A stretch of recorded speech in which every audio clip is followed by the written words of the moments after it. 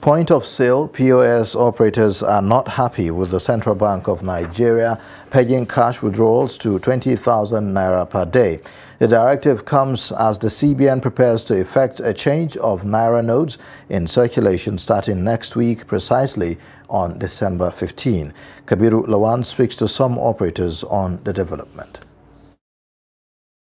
Operators also called on government to have a rethink on the policy adding that youths in the country are predominantly using the POS as a means of livelihood. So we now that is doing the POS is because we don't have any other thing to do. Now that we have this one to do, they want to snatch it away from us. And this bank that is giving us, maybe if I go to bank today, I will get like 400,000 or 300,000. We'll come back and sit down and manage it. 1,000, 2,000, 3,000, 10,000 the, the money will be gathering, maybe the 100, 100 naira, 100 before you know it, we get up to 5,000 a day or 4,000 naira. But now, with this kind of rule now, there is no way we can get even 2,000 or 1,5. So 1,5 will not buy me food, morning food and night food. The way they want to do their thing, let them do. Let them not change our rules.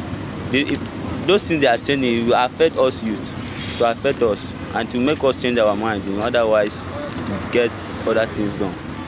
So they should just leave the olden days. If they want to change the currency, let them change the currency only and leave our rules. We withdraw 20,000, that is not possible now. Like me like this, a day around 100,000 naira day. So I'll just withdraw 20 and wait for another day. That is not good now. And it will not fasten our work. The actions continue to trail the CBN decision to limit cash withdrawals to 20,000 naira per day for individuals. Some Abuja residents called on government to reverse the new rules, which they attribute to the new redesignation of Naira notes.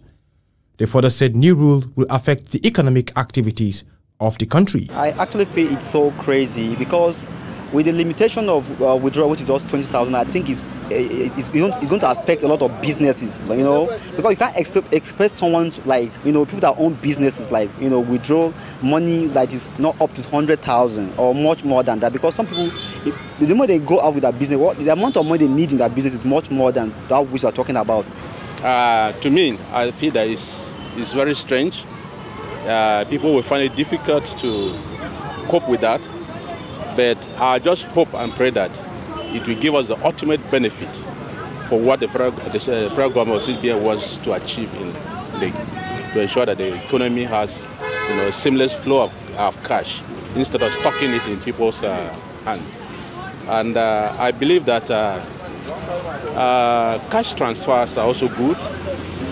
much advantage of cash transfer the disappointment there sometimes is that when you walk to ATM to transfer, some, sometimes they will tell you no cash.